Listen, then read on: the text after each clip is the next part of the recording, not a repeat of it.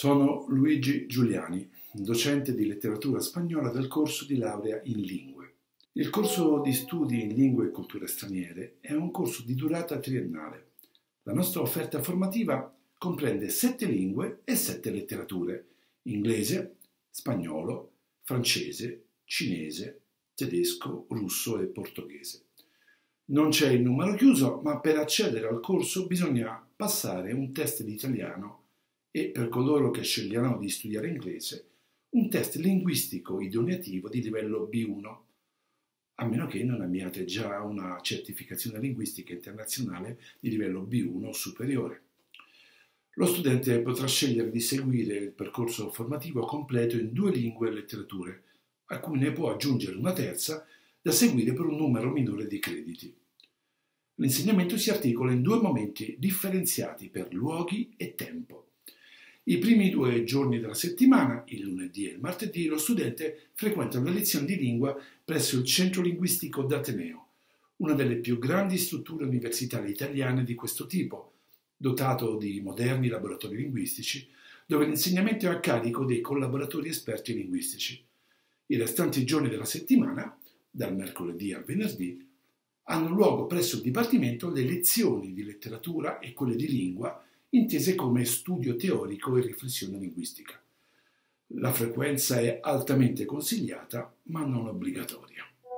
Ovviamente il nostro studente ideale è non soltanto portato per le lingue, ma anche molti interessi culturali e una spiccata curiosità verso le altre culture. E cioè ben predisposto ad adottare nuovi punti di vista, nuove prospettive, a saper afferrare la complessità del mondo in cui viviamo. Perché Imparare una nuova lingua vuol dire anche acquisire delle competenze culturali senza le quali è impossibile lavorare come traduttori, come mediatori linguistici o come ricercatori. È per questo che lo studio di una lingua straniera per noi è inseparabile da quello della sua letteratura e dunque della cultura di un paese. I nostri studenti dunque sono costruttori di ponti, sanno vedere al di là dei muri, sono disposti a viaggiare perché sanno che la realtà di un numero sempre maggiore di persone è quella di vivere e lavorare a cavallo fra due o più culture. Quando si parla degli sbocchi professionali per i laureati in lingue, si pensa di solito alla traduzione e all'insegnamento. Entrambi sono settori importanti, ma non sono certamente gli unici. C'è tutto il mondo dell'industria culturale ad attendervi, un orizzonte che comprende non solo scuole o agenzie di traduzione, ma anche case editrici, giornali, riviste sia cartacee che digitali, i media, enti culturali pubblici e privati, il settore del turismo e dei servizi o le associazioni che operano nel campo dei rapporti interculturali e dell'integrazione sociale, oltre alle imprese che svolgono un'attività di tipo commerciale. C'è poi il mondo della ricerca nel campo degli studi umanistici, un ambito in cui la prospettiva comparatistica sta diventando sempre più necessaria. Fra gli effetti della globalizzazione c'è quello di rendere visibile l'indebolimento della dimensione esclusivamente nazionale dell'industria culturale. È sufficiente osservare gli scaffali di una libreria, un palinsesto televisivo o i contenuti dei circuiti informativi dei media per rendersene conto e i nostri studenti sanno farsi valere in Italia e all'estero in ogni ambito professionale, grazie alle loro abilità linguistiche e alla loro solida preparazione culturale. Chi ha studiato lingue è insomma avvantaggiato anche nel mondo del lavoro rispetto a chi di lingue e culture conosce solo la propria. Anzitutto è consigliabile completare gli studi. La nostra laurea magistrale in letterature comparate e traduzione interculturale prevede un percorso unico il primo anno e un secondo anno in cui si può scegliere fra un curriculum in letteratura e uno in lingua. L'inserimento nel mondo del lavoro passa poi per diversi percorsi, a seconda delle strade intraprese. Ci sono ovviamente i concorsi per chi vuole lavorare negli enti pubblici, scuola compresa, e c'è il dottorato per chi vuole lavorare nelle università e nei centri di ricerca in Italia e all'estero, altrimenti ci si può rivolgere direttamente alle numerose imprese che cercano personale che abbia abilità relazionali in lingue diverse. Per gli studenti di lingue il soggiorno all'estero è di fondamentale importanza. Nel quadro del programma Erasmus è possibile studiare uno o due semestri in altre università europee, ma abbiamo anche accordi quadro con paesi extraeuropei come il Brasile, l'Argentina e la Cina. Lungo l'anno vengono organizzati numerosi convegni e workshop su temi culturali, letterari e linguistici. Come esempio possiamo citare Linguistic Colloquia, incontri bisettimanali di linguistica che si tengono in varie lingue, o i Talleres Internacionales de Estudios Textuales, seminari annuali su questioni di materialità del testo, tenuti in spagnolo o le attività organizzate dal Center for European Modernism Studies, un centro studi che si occupa della letteratura europea del primo Novecento. Inoltre, presso il Centro Linguistico d'Ateneo abbiamo attivato dei laboratori di traduzione in varie lingue. Abbiamo una lunga lista di enti pubblici e privati presso i quali si può svolgere il tirocinio previsto. Associazioni culturali, case editrici, scuole, licei, librerie e biblioteche, alberghi, musei, accademie. Stiamo anche lavorando per avviare la collaborazione con associazioni di volontariato che operano nel campo dell'integrazione dei migranti. Perché Perugia, oltre ad essere una città ricchissima dal punto di vista artistico, è da sette secoli una città a forte vocazione universitaria. Lo studium perugino risale al 1307, con una grande tradizione studentesca, un'importante dimensione internazionale, un'intensa vita culturale. Tutto ciò contribuisce a creare un ambiente ideale per chi vuole dedicarsi agli studi umanistici. Perché l'Università di Perugia ha numeri importanti ma non è massificata. Nei nostri corsi di triennale magistrale è facile stabilire un rapporto diretto con i docenti, essere seguiti da vicino, perché nelle scienze umane la trasmissione dei saperi è anche una questione di sensibilità, di contatto personale. E in classi di dimensioni medie o piccole è possibile impostare la didattica su basi seminariali, favorendo un apprendimento che implichi un lavoro diretto su testi e materiali. Perché il corso di laurea in lingue e culture straniere e la laurea magistrale in letterature comparate e traduzione interculturale sono corsi ben strutturati, con docenti di grande esperienza, ben inseriti nelle reti internazionali della ricerca, fra i quali vi sono ogni anno visiting professor di prestigiose università straniere. Perché se volete assimilare altre lingue e culture, se volete capire cos'è e come funziona una lingua, o se amate Shakespeare o Jane Austen, García Lorca o Javier Cercas, Ronsard o Camus, Camões o Pessoa, Goethe o Günter Grass, Dostoevsky o Solzhenitsyn, Yahua o Bob Dylan. Perugia è il posto che fa per voi.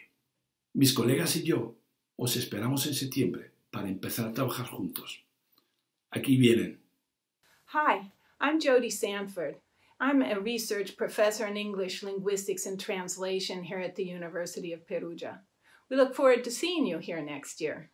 Mein Name ist Emanuela Maives und ich unterrichte deutsche Sprache an der Universität Perugia. Meine Kollegen und ich vom Fachbereich Deutsch erwarten euch fürs nächste Studienjahr hier bei uns in Perugia. Tschüss! Bonjour à toutes et à tous. Je suis Natacha Raski et je vous attends à Pérouse pour les cours de langue française où vous serez les bienvenus. À bientôt, j'espère. Au revoir. Здравствуйте, дорогие друзья! Надеюсь, что увижу вас в следующем году на наших курсах. Удачи всем и до скорой встречи!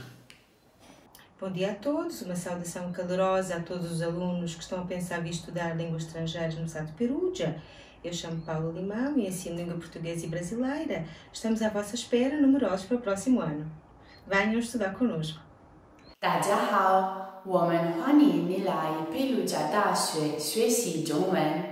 再见。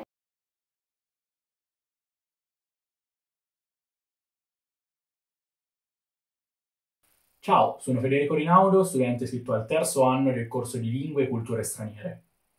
Sicuramente a chi è portato allo studio delle lingue, ma anche a chi è affascinato dalle letterature e culture straniere. Oltre alla parte inerente allo studio delle lingue, ve n'è una incentrata sulla letteratura, una piccola parte storica e per finire una sull'italianistica. dove si intendono materie come linguistica o letteratura italiana. Eh, il nostro corso offre lo studio di due lingue e relative letterature fra sette possibili scelte. Inglese, spagnolo, francese, tedesco, russo, cinese e portoghese. Lo studio di queste lingue viene diviso in lezioni in dipartimento e lezioni al CLA, ovvero il centro linguistico d'Ateneo. Per la comprensione dei corsi eh, riguardanti la letteratura, l'italianistica e la parte storica non ci sono grossi prerequisiti. Infatti vi basteranno le competenze che vi dà la scuola. Mentre è tutt'altro discorso per quanto riguarda lo studio delle lingue. Infatti le lezioni di spagnolo e francese partiranno da livello A2, mentre tutte le altre lingue partiranno da livello più basso, cioè A1, ad eccezione di inglese. Infatti, per quanto riguarda inglese, dovrete fare un test di difficoltà comparabile ad un B1. Eh, il non superamento di questo test non escluderà la vostra iscrizione al corso, in quanto è ad accesso libero. Però non vi permetterà di scegliere inglese come prima o seconda lingua e di conseguenza letteratura inglese come prima o seconda letteratura. Questo e un test sulle basi della comprensione della lingua italiana sono gli unici test d'ingresso, se vogliamo, che affronterete.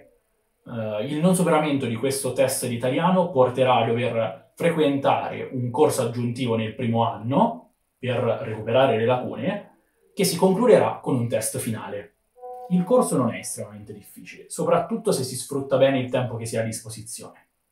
Le lezioni non sono obbligatorie, ma frequentarle diminuirà notevolmente la difficoltà di comprensione dell'argomento e farà la differenza durante l'esame. Quindi le consiglio sempre, soprattutto le lezioni di lingua al CLA. Inoltre avrete la possibilità di stringere un ottimo rapporto con i docenti e con i compagni di corso. Allora, dipende da corso a corso e da periodo a periodo. Però ritengo che eh, la soluzione migliore sia quella di studiare poco al giorno ma spesso. Cosa vuol dire? Eh, per esempio, Uh, sistemare gli appunti presi a lezioni il giorno prima è un ottimo metodo per ripassare in breve tempo. Se invece vogliamo parlare di ore di studio, allora ritengo che 2-3 orette ogni due giorni sia ideale per arrivare alla sessione d'esame organizzati e preparati. Poi, ovviamente, in sessione d'esame i tempi cambiano e bisogna studiare di più. Però anche qui, studiare sempre, ma poco, rende tutto più semplice la vita universitaria è decisamente diversa da quella liceale. Si ha molta più eh, libertà e controllo sulla propria vita e sui propri ritmi. La visione dello studio, ma anche del luogo di studio stesso, è completamente stravolta. Eh, vi sono benefici eh, non solo in ambito delle conoscenze o competenze apprese o nell'avvicinamento al mondo del lavoro, ma anche in come ci si rapporta con le persone eh, che ogni giorno vivono le tue stesse esperienze. Eh, sto parlando ovviamente dei compagni di corso, ma anche con i docenti è possibile stringere ottimi rapporti, in quanto disponibili e propensi al dialogo. D'altro canto, però, insieme alle libertà, viene la consapevolezza dei propri limiti. Infatti, per far spazio a sessioni di studio, eh, tirocini eh, o eventi del dipartimento semplicemente, si potrebbe eh, essere costretti a fare a meno di attività esterne. Nel mio caso, per esempio, non, mi sono reso conto che non riuscivo a gestire la mia carriera universitaria e quella sportiva contemporaneamente in modo adeguato e per questo ho dovuto fare un passo indietro. Allora, il corso qui a Perugia è ottimo perché può vantare di molti docenti validi. Detto questo, per quanto riguarda la triennale, non vi sono grosse differenze didattiche fra Atenei. Purtroppo, a meno che non sia una chiara passione già dal liceo, lo si scopre solo a corso iniziato. Posso però suggerire di regolarsi prendendo come linea guida eh, le materie di lingua e letteratura e quindi l'interesse e il risultato di questi esami. Ci teniamo a ricordare che questo video è stato realizzato durante l'emergenza Covid-19. Nonostante ciò, reputando fondamentale il servizio di orientamento dell'Università degli Studi di Perugia, abbiamo deciso di offrirlo in modalità telematica. Per altri approfondimenti potete accedere al sito web UniPG dove troverete tante altre informazioni e video. Ciao e a presto!